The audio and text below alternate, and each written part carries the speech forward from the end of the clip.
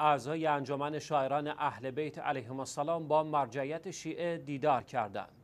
بیت مرجال قدر آیت الله العظما سید صادق حسینی شیرازی مدظل العالی در شهر مقدس قم میزبان اعضای انجمن شاعران اهل بیت علیهم السلام از شهر مقدس نجف بود.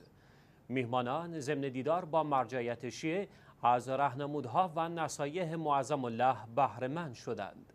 به گزارش شیعه ویوز به نقل از پایگاه اطلاع دفتر آیت الله شیرازی اعضای این انجمن در ادامه پس از دیدار با آیت الله سید حسین شیرازی و به مناسبت دهی رضویه میلاد حضرت فاطمه معصومه سلام الله علیها و امام رضا علیه السلام به شعرخانی و مدیح سرایی پرداخته و سپس به سخنان حجت الاسلام و المسلمین سید جعفر شیرازی گوش فرا دادند.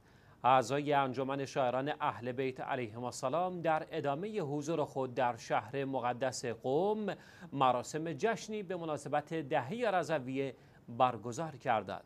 این مراسم در حسینیه نجفی های مقیم شهر مقدس قوم برگزار گردید و اعضای مجمع جهانی حیات و مواکب حسینی از جمله میهمانان خاص آن بودند. انجمن شاعران اهل بیت علیهم السلام از جمله مجموعه های فرهنگی شهر مقدس نجف است که طی روزهای گذشته با هدف زیارت مشاهد مشرفه ایران به این کشور سفر کردند.